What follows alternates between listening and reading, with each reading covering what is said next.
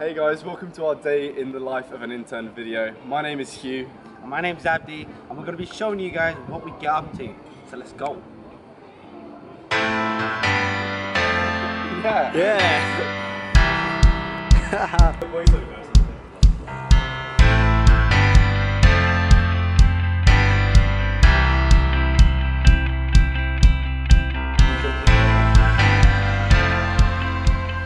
So I'm on the CIOT team, which basically means all things to do with Vodafone's range of connected devices, including the VPod dog tracker and the VKids watch.